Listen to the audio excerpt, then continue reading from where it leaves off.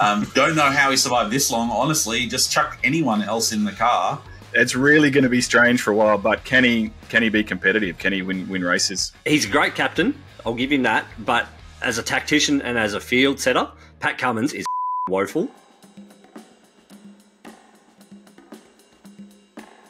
All right, g'day everyone. We're going to kick off with Formula One. We've got a world champion now. We probably felt this was coming for a while, but maybe it sort of ended up taking a bit longer than we thought. Just wanted to say a couple of words first up about Max, and probably didn't like him a hell of a lot early days, particularly when he's beating Danny Ric back in the day and when they were still together, that sort of thing. And then, got to say, I loved him knocking off Lewis in 2021. It was bizarre that final race, but it was just, I always like it when a, a dominant guy gets chopped down. And then started to hate Max when he became the dominant guy and was super arrogant and just winning race after race. And then I think I respect him more after this year because to come away with that championship.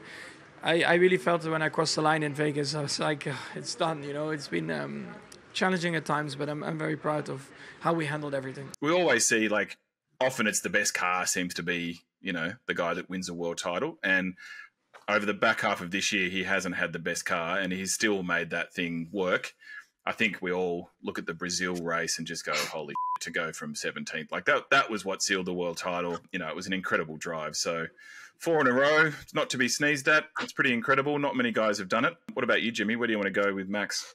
I think you've, you've summed it up pretty well there. You, you, it was such a hate, love, hate of sort of relationship with him, and like you can't deny that he belongs in the goat conversation. Like the the Brazil drive, one of the best Formula One drives I've, I've ever seen. Pissing down, pissing down. Back every of the grid. Driver, yeah. Every driver struggling to keep it on track, and Max just drove like it was completely dry. Like that was it was phenomenal to watch.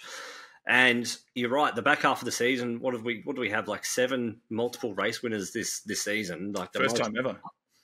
and Mm. yet Max in definitely not the best car for the second half of the season, and still just couldn't be caught. Like Lando, whether or not he was actually ready to challenge, we, we he said probably not, but I don't know. It's it's going to be very different. We hope next season with with how things are shaped up in the second half of this season. But yeah, you can't deny Oh. just how bloody great this guy is. Yeah, I agree with you. It'll be a really interesting season next season, mostly because they won't be putting any money. This is the cars that we have next year.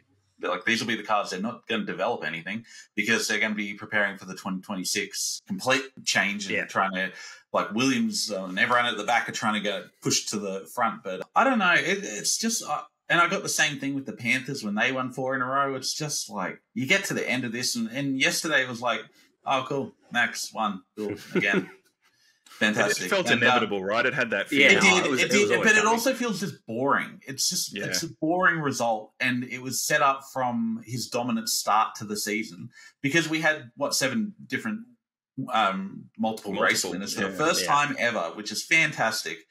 And Max is nowhere near being touched. Uh, Lando Yeah. is a long way back, really, and we were hoping that Lando might be there might be some a bit of magic that that, that get him up there, and he could do a, a max on Max. But um, yeah, it's just it, it, it deflated me yesterday. It was a bit it was a bit of a nothing finish. It was, and, it was uh, a let's be honest, it was a boring as race. it was a boring George Russell race, it was boring. danced away from the start. The only exciting bit was Lewis going from 10th to 2nd. 17th on the grid to the win. Oh, yes! And, And then Perez doing that three wide overtake. I, did, I didn't mind Yeah. that, but that was that was pretty that much was, it. that was it. And then, and then Leclerc blowing up after the race. Beyond that, it Hmm. was really nothing. Like we we want these safety car riddled races, and we're just not getting them. Yeah, and you're, you're right about the. It's funny we we've always wanted something like we years ago. You never like during Schumacher's dominance or Hamilton's dominance, you never would have said there'll be seven multiple Hmm. race winners. We've also got a thousand races these these days, but Yeah. you never you know you think if you're going to have that, holy, shit, we're going to have a super competitive championship, and we didn't. I mean, it was. It was pretty much over of the first half of the season. A little part of it as well is I think we've got a little bit of a what if with Aussies, just because Webber was with Vettel for those four. He was winning, you know, the races here and there, but was never able to get it done. Obviously, Danny Ric left before Max started winning his, but they were there together at the same time, coming through with really good cars and whatever. So I think because we're so desperate for another Aussie world title, there's a little bit of a these guys keep getting it on Yeah. the same team as an Aussie, but they're just that little bit better or, or whatever the difference is. And I think looking to next year, it's interesting what you're saying about the cars, Mertz. And McLaren have obviously made a huge leap this year. And like Zak Brown, I thought would have got the ass in the last few years, but he's stuck with it and he's showing some decent results this year. Can they Mm. make that next step, or are other guys going to kind of catch up to them? But I think we're all waiting to see Oscar Piastri next year, aren't we? I mean, after what he's shown this year, Yeah, well, he's he's only going to get better, and it's going to amplify the pressure on Lando, who, as Helmet pointed out, when when the pressure's applied, he's the mental side of his his game isn't isn't the best. So when Oscar gets better, which is going to happen, that that McLaren garage is going to be super interesting next season. But I love uh, Oscar had a bad weekend pretty much, and he still finished seventh. Uh, he Yeah. still had a good weekend, a decent weekend, and I think that's the thing that's let people like Danny Ric down in the past, where you have a great weekend and you're on the podium, and you have a bad weekend and you're nowhere to be seen. Yeah. Um, I think the consistency of Oscar just puts him in such a great position. And I think this McLaren is just going to be as good next year. I think the, the Ferrari is going to be the really competitive car. And it'll be really interesting to see how Red Bull go with the second seat because if they keep Perez, they're morons, um, as we've been saying all season. Um, don't know how he survived this long. Honestly, just chuck anyone else in the car. It- It'll be really interesting to see how a young kid with the pressure of being in the Red Bull uh, next to the world champion, uh, how how they actually go. And I think like a level-headed, focused Oscar is good, and it seems like a pissed-off, angry Oscar is even better. Like he's Yeah. sort of got the emotional side of it, whereas Lando maybe doesn't seem to show that. And then mm. I keep thinking about they're going to make such a song and dance about it, but when we see Lewis in red, it's going to be this massive thing. It's going to look weird. It's going to take a while to get used to seeing him in that oh, car. absolutely, it will. It's really going to be strange for a while, but can he can he be competitive? Can he win? I, win I reckon races? it's the perfect idea, a perfect time for him to go now. Ferrari has really come on. Mercedes is back where they are. I think they've the, um, both him and George have driven the car a lot better than the car actually is. Um, and uh, they switching into a Ferrari now. I, I still think Lewis is one of the best drivers on the on the. I grid. think I You go- honestly, I honestly think with the way that that Ferrari's looking, Lewis could win his eighth. he very well could. Uh, he's just such a good driver. Should we switch to a bit of cricket? I don't know. Maybe the less said, the better. From an Aussie perspective, this has been bloody pathetic. Uh, it looked pretty good when we rolled them for 150, but that feels like a lifetime ago now. Barring one of the top order blokes maybe getting a ton and extending it, but I just can't see it. And so often with these four, uh, four I think that I think that reaction says sums it it up. Yeah, so much shakiness in the top order. Uh, you know, uh, there's just so many concerns. Like, what's Bumrah and a bit of spin and whatever going to be like in the fourth innings? But anyway, it, it'll most likely be done by this goes live. But I, I'm concerned about the state of the Australian team, to be honest. And it's a five test series, so let's see what happens. But we've talked about the succession planning thing a whole bunch of times, and there doesn't seem to be a lot of that. And also, guys knocking down the door to get in the team. We'd love to see McSweeney get a few runs, but yeah, I'm actually a bit worried about this team. It's been very successful, but the bowlers are all old. Apart from Cummins, is 31. Yeah, I think there's some question marks about where we go from here, particularly if we come off losing this series. I'm completely baffled about the planning going into this series. Before the before the test, Cummins came out and said, "Oh yeah, I'm I'm really fresh. I haven't played any red ball cricket. Oh, in perfect about six preparation. months." They all, And I was like, is that perfect preparation? Like, I get you rested, but you haven't had any game yeah. uh, game time yet, except for one Shield match. Yeah, Um, I, like it it just shows that we we also kicked up the day none of them were in the one day like or the Hmm. T Twenty series. Like I don't know, just what what the f- did they do with the ball? Like as we were talking about last night, Mertz, Yeah, the Aussie bowlers couldn't get the thing to do anything and just kept plodding in trying to do the same like and then they threw the ball to Marnus, which we'll get Yeah. onto that later. Oh. But then Bumrah comes on for three overs at the end of the day, and he's got it moving around more than Shane Warne used to be able to bloody. and Siraj. It's- As was Siraj was moving in a mile as well. it was just the, the the disparity in what the Aussie bowlers were producing to what the Indian bowlers produced at the end of the day was unbelievable. Us losing three wickets, another fifteen minutes, twenty minutes of play, we would have been four or five down Mm. comfortably. It was it, it is as ugly as ever, and we have to make changes. The the team can't. We've relied too long on this team without going. Oh no, we won't make changes. But it, it's time. There's there's so many players that are just don't look interested. I I get blown away every time we play in India. How we go, oh, the pitches are doctored and they're they're No, they're not. They're not doctored. They're set up for Indian spinners to do what they do best because no one can play spin in basically the world. Even Indians can't really play the spin anymore. But then we bring them down here and we go, you know what? We're going to give the fairest bowling wicket. We're going to not trust our what they made such a big thing about the first Australian um, order who has four bowlers all on over 250 wickets. They make such a big deal of that. But why don't we trust them to actually take the wickets? Why Yeah. don't we put uh, put these wickets that are like on the first two days were an absolute minefield. Like I don't know how it was. It, it was almost unplayable, but it didn't look like it was doing all that much either, Yeah. oh, except for when Bumrah had the ball in his hand. Um, Yeah, well, not on day two Wow. when they were none for 200 or whatever Yeah. they. Yeah, they, they didn't have any trouble. Day but one, in, yeah. in the past, India have been scared to come to uh, Perth. They they've dictated that there will not be a Perth match. We'll play everywhere else. Yeah. Um, uh, there's no fear for them now. The uh, Optus doesn't have the same um, the same personality as um, Yeah. the WACA No. used to have, but. Why don't we trust our bowlers? We're just not trusting our bowlers, and we're not giving our batters a chance to actually get in because they're coming in in this minefield that they can't bat but do- on, and they're all out of form and they're all old. Our, our batting lineup now doesn't strike the fear of God into No. Any bowling attack outside of Travis Head. It's just Ah, and even Travis, he's Oh. so hit and miss. I don't, I don't know. I don't think the pitch has got much to do with it. I think we've been completely outplayed. I mean, we rolled them for Yeah. 150, and then they rolled us for 100, and then they showed that they can bat on the pitch. I miss those old WACA wickets with the Fremantle Doctor and 150 Oh k's God. an hour, and uh, that was fantastic. And it scared the shit out of you know visiting teams. But they and they talked about it every time we have a test over there. They talk about it being quick and all the rest of it, and it never is. You know what they want it to be.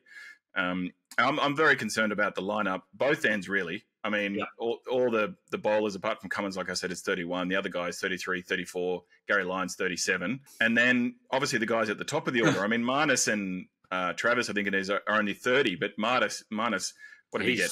He just horrifically looks out of so out of form. Yeah. Um, also, I just wanted to say something quickly about the build up. Like, I'm used to the Mm. start of the Aussie summer of cricket being like, let's go, so pumped. I think the fact we had Australia A versus India A and a Shield game as the warm up acts didn't really help.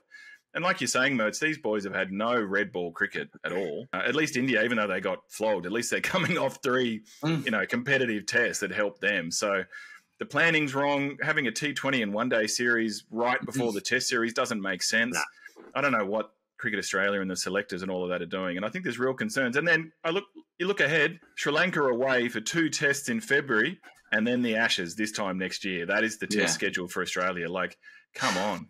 This is a You look- massive You look problem. ahead to the next test, and India have got even bigger weapons sitting Yeah. on the outer. Whereas you look at Australia, They're going to get stronger. Who Yeah. the I don't know. have we got to come in? They were talking about Rohit Sharma coming in. I'm like, okay, he's been in such scintillating form that that's, that's there. the that's again another disparity in the fact that India have these unbelievable weapons just sitting in the rooms ready to go, whereas Australia we've got a, an, an empty cupboard. It's but we need to make changes because some players just shouldn't be. Based And the, the the fact anymore. we were still talking about Marcus Harris and Cameron Bancroft and the same guys, it's like at least we've got McSweeney who's 25 and hopefully we'll, he'll get a chance and we'll see him do something. But mate, all the Indians that were not in form after the New Zealand series look pretty good this Yep. test. See, this is the thing though. India blood all their people. They blood Yeah. them in advance, and our big series are India and uh, England, and we've got them back to back. So Khawaja's thirty eight.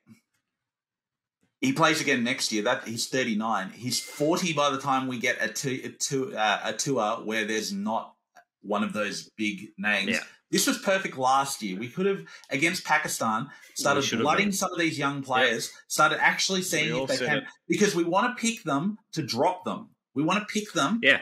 And so when they get through that first part and then they go, oh, wow, actually, Test cricket's a little bit hard, you drop them and let them score the runs. that was Simon I- Katich. That was um, Matthew Hayden. That was all these guys that went into the team, got dropped, and went, I'm going to go away and score an absolute ton of runs. Yeah. And you find out who's actually got got it. And then It's- some of them also flourish when they get that Yeah, opportunity yeah, as well. absolutely. Some guys Yeah, at and young that's the guys you want. That's the have the guys you want. temperament. Yeah, yeah. That's Yeah. it's it's time for the selectors to start being a lot more ruthless with these blokes who have been around for a long time. Mm. Like Marnus needs to be dropped and go back and rediscover some form. And Yeah. if he doesn't have it, then he doesn't have it. Whatever. But on the opposite side of that, with the young guys, we have to give them the time. I would almost guarantee McSweeney will get dropped for the next test Yeah. Purely because they'll be like, well, he didn't perform. But yet? Marnus and Steve Smith, who haven't performed, and, and well, Steve Smith might still in the second innings, yet to be seen, but they will not come close to facing the axe because oh no, but they've you know look at what they've done, they've got all this and blah blah blah, I, and I think I think they'll stick with annoying. They'll stick with McSweeney for at least another test. But it wouldn't They- surprise me they- if he doesn't see out the series. Definitely because they Yeah. do that knee jerk kind of stuff. Oh, he's proven he hasn't got it. But they only do that knee jerk stuff with the young guys when Yeah, it should be the opposite way around. It's so dumb. Who would they replace McSweeney with? Yeah, Calling David Warner back. He's the only option I can see because but who would they Bancroft is replace? in Marnus or worst Steve possible Smith form. or Well, Marnus? Well, I would bring, in- McSweeney to three. Yeah, and I, I think it- uh, Look, Konstas is young. is so hard. It's But- he's so young. He's so unproven. He scored two centuries in the one match. Yeah. So yeah, chucking him in then against Bumrah. I I, I want Oh McSweeney. God. uh, sorry, I want I want Konstas Konstas focusing on taking over Khawaja's spot next. And I want yeah. I would go away and say this is not your time. Khawaja will retire soon. No, he, he's that's ready. your time. Go away and score just a ton of runs. Just go away and work on your game in Shield cricket and just make it that we. But this is the problem with Shield cricket. The, and uh, what my point about the pitches, the pitches in Shield cricket are just a joke. They are They're a road. terrible wickets. Yeah. No, they're, or they're either a road where they go out and score just a buttload of runs and no wickets fall, or they're just an absolute minefield that the batters can't do anything. So getting out into the middle and actually like facing these guys, it's not fair between bat and ball. It's either really ball focused or really bat focused, and it's not giving them an in between where they can actually develop their game at this top level. And that's the problem with Australian cricket because you, you're having these kids who are actually half decent and probably could make good test players, but you're destroying their confidence as soon as they're getting there because Yeah. you they're facing like uh, uh, the bowlers are all getting up because we're really focusing on developing fast bowlers for a team that we won't ever put new fast bowlers in because you're not dropping Cummins. Starc will be there until he retires, and Hazlewood will be there until he retires. other- and they have the runs on the board and everything, but The other, I think, the other big issue for Australia, and it, it just it constantly keeps coming up in these Test matches, where once the, the the other team starts to sort of take the momentum away, is when we've got the ball in hand, our tactics just go to. So it's time. He's a great captain. I'll give him that. But as a tactician and as a field setter, Pat Cummins is woeful, and it needs to be taken away from him. I uh, I think Pat Cummins is not a great captain. I think he is a great leader. I think he's a fantastic leader. I think he's one of the best leaders that we've actually had during like my time watching cricket. But I think as a tactician, he's it's we get to thirty overs and we haven't taken a wicket. Everyone stand back on the boundary, and it's If, no. if either of you no can explain to me what the f- point in bringing Marnus into the bowling attack to bowl four bounces and over, and then have him No, do no. his hooping Just leg spinners from way outside and like around leg stump. I'll, I'll Yeah. give you a million dollars Look, anyone big- can explain that because it's look, bigger bigger picture. George Bailey sits there with his grin on his face, like he knows exactly what he's doing, and he's in control. And all you journos speculating don't have a clue what you're talking about. All the rest of it, and they're coming off World Test Championship victory and keeping the Ashes. Whatever they can look at the kind of runs on the board. For my mind, if we lose this series and badly, that's it. It's wholesale changes. It's new team to go to Sri Lanka. It's Yeah, maybe oh, sorry. St- I mean, tap Steve Smith on the shoulder and say, mate, you're having your farewell at the SCG. But Steve Smith will say, F- you, I'm still the best batter in the world. I've got years left. I can't see him putting his hand up and, you know, ob- No. obliging and taking it. But we need sweeping changes. This team needs to be turned over. Yeah, Steve Smith's problem is that he's so uh f- he, he his whole game which made him the best batter in the world was that he would take on the bowlers and go bowl at my pads try just try bowling at my Yeah. pads Yeah, yeah. and they would be like oh I can I can get an LB and he was just faster but now he's Yeah. 35 yeah and the hand-eye reflexes are starting to drop But Smith needs to reinvent himself.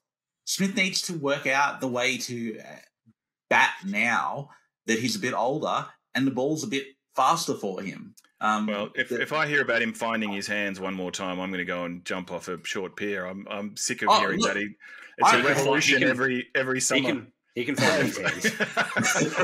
Honestly, But you know what? Find your hands, but then score hundred and Exactly. another hundred and us. another Back it up. hundred and Don't dominate the series. Yeah, Yeah. we don't want to see that. We want to see I you. Yeah, want to see you score some runs, Steve. We want to see them all score runs. We'd like them all to continue on, and you know we, we've loved a lot of these guys. We want to see them come good, but yeah, the signs aren't looking good. I think it's going to be time for wholesale changes.